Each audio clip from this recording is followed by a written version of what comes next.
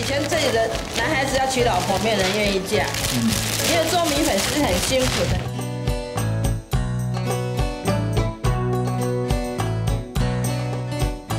所以你小的时候，这个米粉寮这边做米粉的这个有多少人家呢？四十四十几家了。现在有几家呢？